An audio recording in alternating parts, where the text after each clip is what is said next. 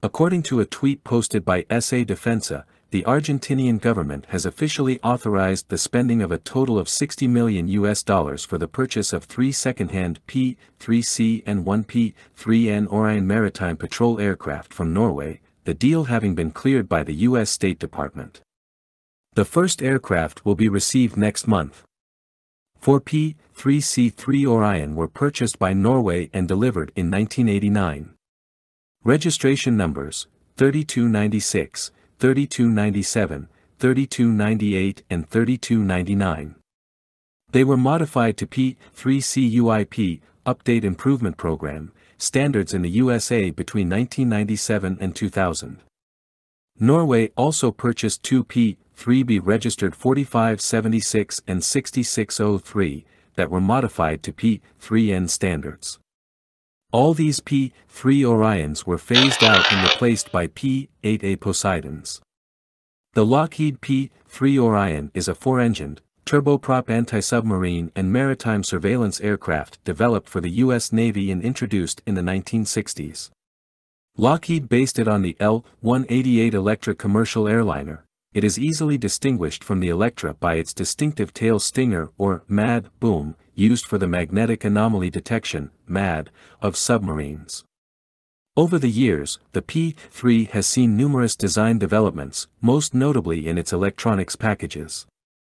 Numerous navies and air forces around the world continue to use the type primarily for maritime patrol, reconnaissance, anti-surface warfare and anti-submarine warfare. A total of 757 P-3s have been built. In 2012, it joined the handful of military aircraft including the Boeing B-52 Stratofortress, Boeing KC-135 Stratotanker, Lockheed C-130 Hercules and the Lockheed U-2 that the United States military has been using for more than 50 years. In the 21st century, the turbofan-powered Boeing P-8 Poseidon began to supplement, and will eventually replace, the U.S. Navy's P-3s. The P-3 has an internal bomb bay under the front fuselage, which can house conventional Mark 50 torpedoes or Mark 46 torpedoes and or special, nuclear, weapons.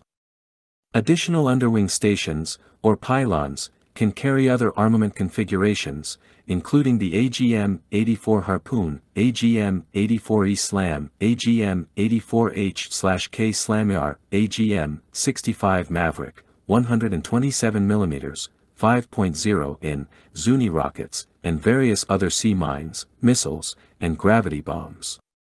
The aircraft also had the capability to carry the AGM-12 Bullpup guided missile until that weapon was withdrawn from the U.S.-NATO-Allied service. The P-3 is equipped with a MAD in the extended tail. This instrument is able to detect the magnetic anomaly of a submarine in the Earth's magnetic field. The limited range of this instrument requires the aircraft to be near the submarine at low altitude.